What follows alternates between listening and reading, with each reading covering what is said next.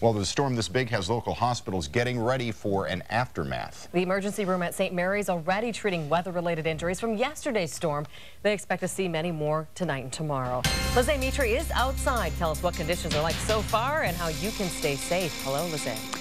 Hello, you can see the storm has started, the snow is falling, but really it's the wind that's blowing the snow. You can see behind me, in front of me.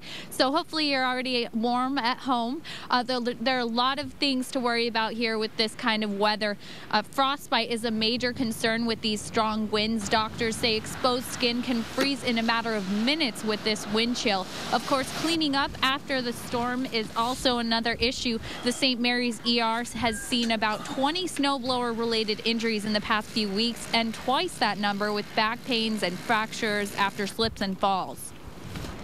It's been really bad and we expect, especially over the next few days after the blizzard, a lot more patients in.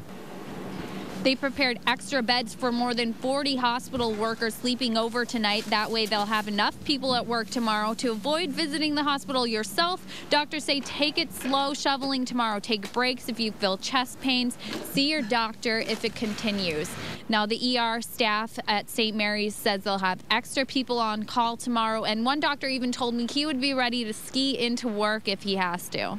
All right, stay warm yourself, Lizzie. Thanks so much.